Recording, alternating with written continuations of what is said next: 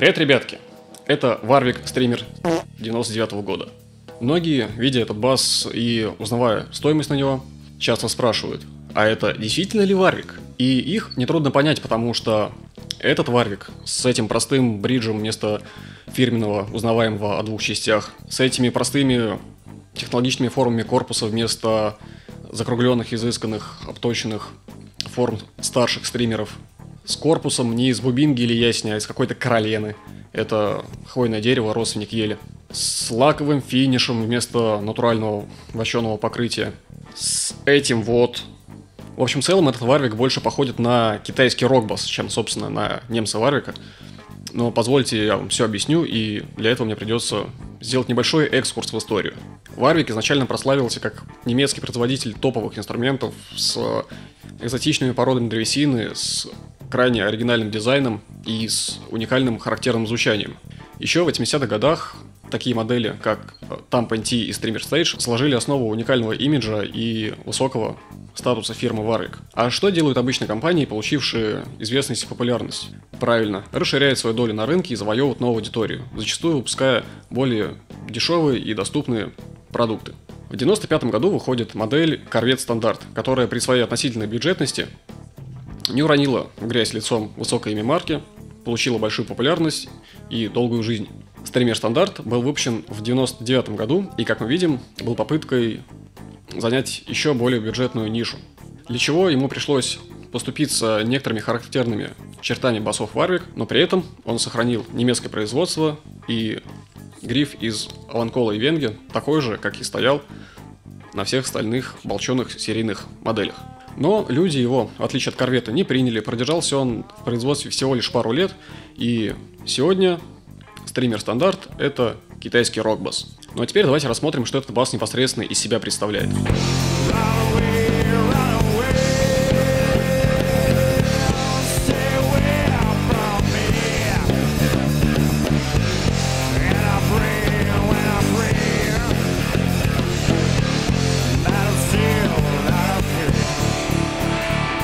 Первое, что мы заметим, взяв инструмент в руки, то, что он легкий, как пушинка, всего 3 килограмма.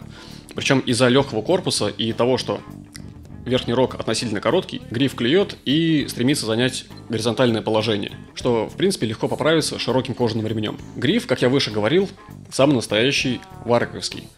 Аванкол, венги, характерный профиль, 24 бронзовых лада, пластиковый порожек Just который позволяет настроить высоту струн, крышка гайки анкера со съемной заглушкой, Забегу вперед, скажу, что крышка тамарблока здесь на защелках тоже легко открывается. И за эти мелочи, за эти детали я глубоко уважаю фирму Warwick, потому что это показывает их отношение к музыкантам. Это же так просто, так удобно, когда тебе не нужно откручивать и закручивать кучу маленьких винтиков, чтобы что-то построить в инструменте.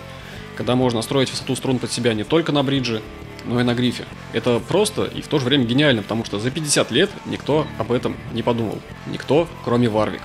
Еще я бы похвалил замечательный двухкусковый бридж с быстрой заменой струн, но здесь у нас стоит обычный бридж с торчащими винтиками, до которого я бы не стал в других случаях докапываться, но здесь у нас все-таки варвик. Но в то же время это опять-таки очень бюджетный варвик, поэтому к таким компромиссам стоит отнестись с пониманием. Еще придется отнестись к пониманием, что до последнего лата дотянуться не так легко, но для варвика это норма. Корпус, кстати, хоть и сделан проще, чем у более взрослых варвиков, из плоской доски, что выглядит и ощущается далеко не так роскошно, однако он по-прежнему абсолютно эргономичен, скос под руку есть, все в порядке. Колки тоже фирменные, Варвик, и меня удивляет тот факт, что они до сих пор не сломались и не были заменены на Гота. Ладно, я тут немного утрирую, но на самом деле действительно полно жалоб на ломучие варвиковские колки. Когда я купил свой Бу Bug, там уже стояли колки Гота вместо родных.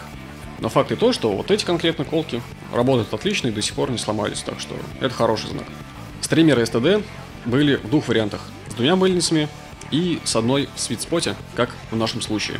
Это пассивный мег винтаж стайл хамбакер, который дает своей позиции такой жирненький, чуть глуховатый ровный звук.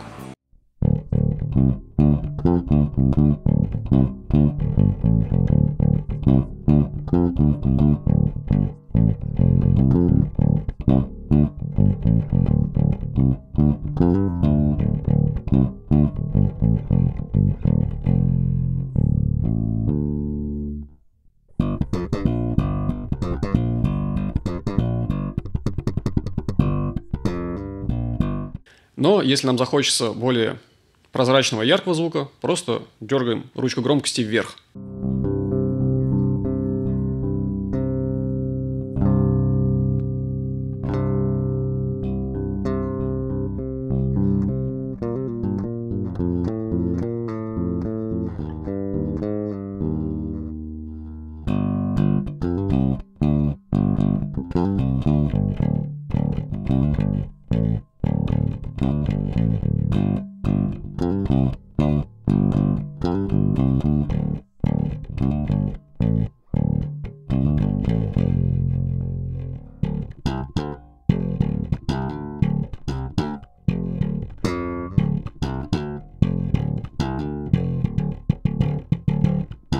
Так что при такой скромной конфигурации электроники этот бас может неплохо адаптироваться по то, какое звучание нам нужно в тех или иных случаях.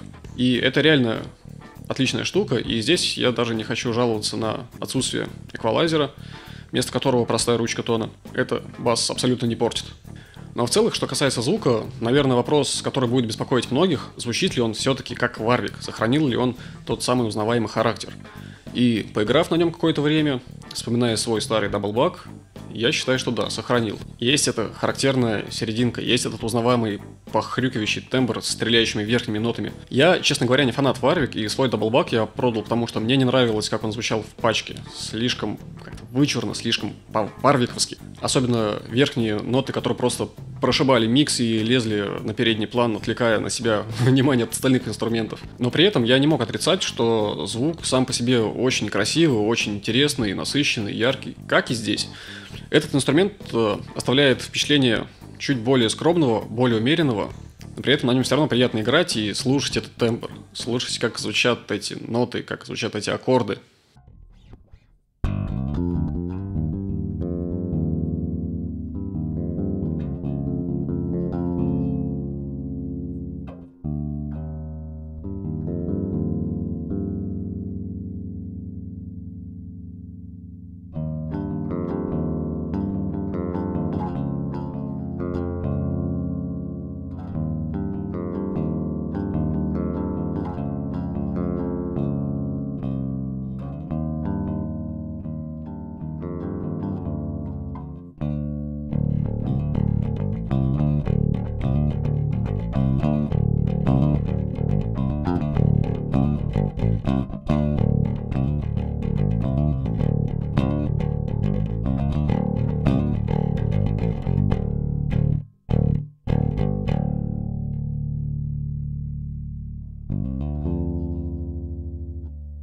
Этот гриф определенно создает э, нужный тон и нужное ощущение от игры, и дерево корпуса, которых многих предварительно отталкивает, отнюдь не рушит эту картину.